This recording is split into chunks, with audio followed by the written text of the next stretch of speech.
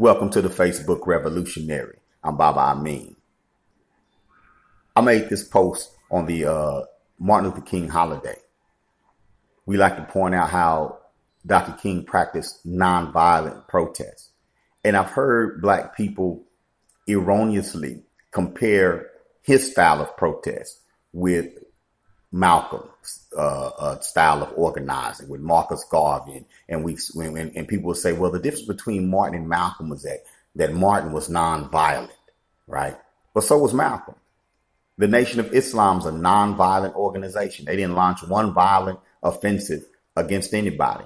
So, so I wrote this post. The Black Panther Party for Self-Defense was a nonviolent organization. The Nation of Islam was and is a nonviolent organization. The Republic of New Africa was and is a nonviolent organization.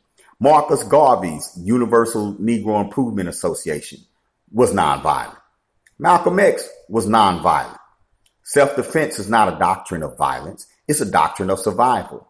Dr. King knew that there were things the enemy feared more than nonviolent protest. Hell, the cops figured out the best way to nullify the effects of a march was to let it happen without incident. Nonviolent organizing, family building, business development, political education, and economic empowerment got way more done than nonviolent marching. The march was the catalyst, the ceremony, the show of unity, but the business went on behind the scenes. The folks in Alabama, the white folks, wasn't scared of the march. They were scared that their Negroes could afford to march, were bold enough to march. Who's bringing in Dr. King? Who's housing and feeding SNCC? Is my maid a black rebel? My nanny? My driver?